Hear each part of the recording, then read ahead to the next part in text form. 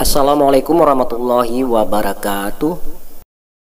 Ingrid Madson, anak keenam dari tujuh bersaudara, ia lahir pada tahun 1963 di Kingston, Ontario, tempat ia menghabiskan masa kecilnya dan bersekolah di sekolah Katolik. Ia memuji para wanita Katolik yang mendidiknya dengan menyediakan pendidikan yang fantastis dan tempat untuk mengeksplorasi dan mengembangkan spiritualitas muda. Ia belajar filsafat dan seni rupa di Universitas Wartolon di Kanada dari tahun 1982 sampai 1987.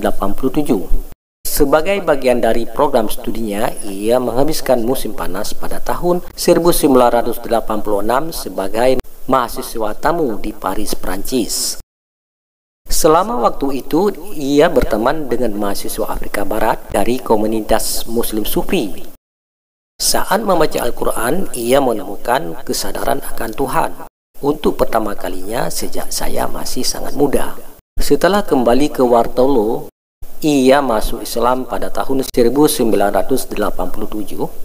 Ia menyelesaikan studinya di Waterloo dan memperoleh gelar sarjana seni gabungan dalam bidang filsafat dan seni rupa pada tahun 1987.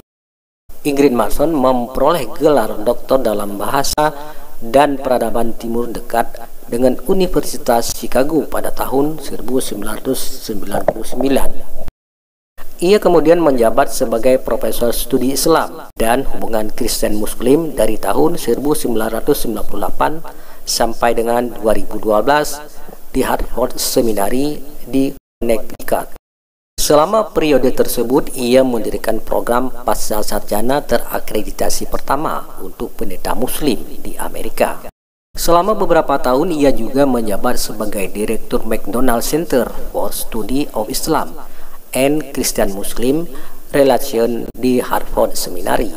Saat menjabat sebagai Wakil Presiden dan Presiden Islamic Society of North America, Madison beberapa kali bekerja sama dengan pejabat pemerintah Amerika Serikat.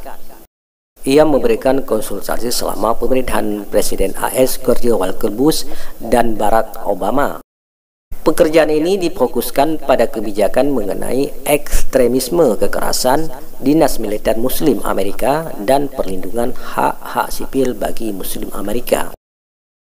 John O'Brien, Direktur CIA saat ia menjabat sebagai wakil penasehat keamanan nasional untuk keamanan dalam negeri dan kontra terorisme dan asisten Presiden Obama mengucapkan terima kasih kepada Manson atas kepemimpinannya pada pertemuan umum di Universitas New York.